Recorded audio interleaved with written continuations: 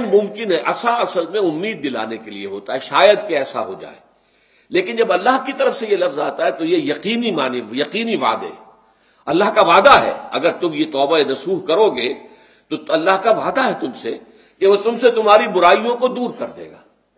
ये तकफीर के लफ्ज को भी समझ लीजिए। कफर का असल मानी है छुपा देना दबा देना। इसीलिए गुनाह का कफारा होता है। आपसे गुनाह हो गया। आपने कफारा दे दिया तो गुनाह छुप गया दब गया उसके असरात जाहिल हो गए। वो आपके नाम आमाल से उसको खत्म कर दिया जाएगा।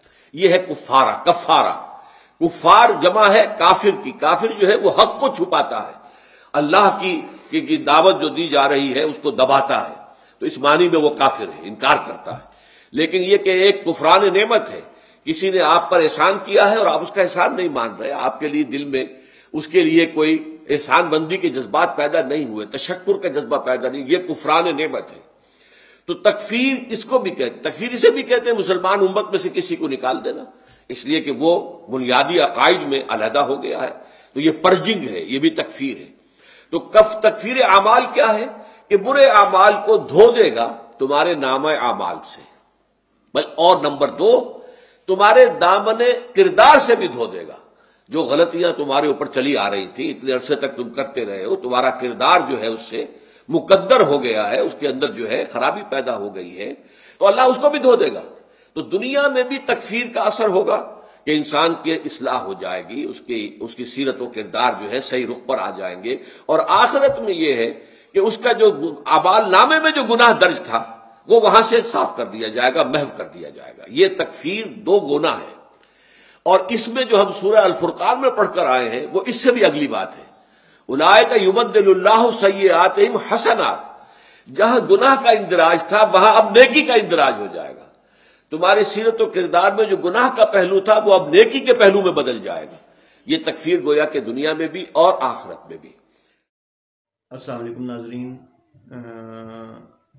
क्योंकि बहुत सारी डिमांड थी मेरे भाइयों की कि डॉक्टर इसरार अहमद की, क्योंकि मैं पहले वीडियोस अपलोड करता था। लेकिन चूँकि यूट्यूब की पॉलिसी के मुताबिक मैं वो वीडियोस अपलोड नहीं कर सकता था कॉपीराइट का इशू आ जाता था।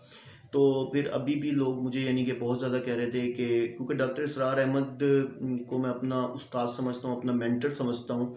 उन्हीं की जो, उन दरस कुरान से मैंने कुरान, जो दरस कुरान दिया करते थे, उसी से मैंने कुरान को समझा। तो अल्हम्दुलिल्लाह अल्हम्दुलिल्लाह, बीच में मैं अपनी वीडियोस भी बना रहा हूँ, अपनी वीडियोस भी अपलोड करता हूँ, लेकिन लोगों, लोग बहुत कहते थे कि पहले आप डॉक्टर इसरार अहमद की ही पोस्ट किया करते थे, अब जो है आप अपनी पोस्ट करते हैं। तो भाई ऐसा नहीं है मेरी भी हर बात वही होती है जो मेरे उस्ताद की है ठीक है डॉक्टर इसरार अहमद की थी। तो बरल तो आ, मकसद सिर्फ़ ये है कि आप तक अल्लाह का दीन पहुंचाऊं। तो डॉक्टर इसरार अहमद क्योंकि उन उल्मा में से थे उन उल्मा में से थे जो वाकई मतलब आप जिन्हें कह लें कि जिनको दीन की समझ बूझ थी। मतलब जो कि जो कि जिनके दिल में दर्द था, इंसानियत का, जो चाहते थे लोग सीधे रास्ते पे आ जाएँ। तो